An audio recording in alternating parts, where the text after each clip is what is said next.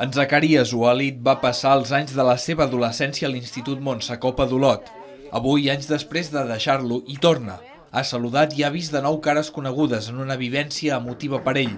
Explicarà als joves la seva experiència com a jugador de futbol amputat. Tornar enrere a l'institut on havia crescut, on havíem jugat a futbol amb, el, amb els meus companys de classe i, i bueno, eh, em fa molta il·lusió compartir la, meva, la meva història, bueno, la meva i la dels, la dels meus companys eh, als nens d'aquest institut. Quan tenia 6 anys, a en Zacarias li van detectar un càncer, el sarcoma d'Ewing, que va obligar els metges a amputar-li part de la cama esquerra.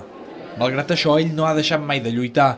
Aquest aprenentatge que li ha donat la vida és el que vol transmetre als més joves. Simplement faig el que m'agrada, faig la meva vida i, i bé, eh, si la meva experiència pot eh, servir a altres persones per millorar la seva, eh, tot un orgull per mi. El que m'agradaria demostrar-los i ensenyar-los és que, bé, que quan per moltes barreres que et posi la vida, no, intentar superar-les i, i bueno, doncs que l'esport no hi entén de barreres, que el pot practicar tothom, amb les condicions que siguin i, i bueno, eh, que es quedin sobretot amb, amb, amb aquest plan no, de que de que no per el que et passi eh, se t'ha acabat la vida o ja no ets ningú, sinó la qüestió és si caus aixecar-te. I una prova clara del seu esperit de superació ja està en marxa.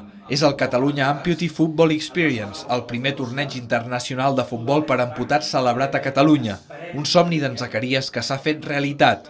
Serà una competició d'aquest esport entre les seleccions espanyola, francesa i polonesa, que engloba altres activitats com aquestes xerrades motivacionals. Els partits del torneig tindran lloc als terrenys de l'Escola de Futbol Bos de Tosca aquest cap de setmana.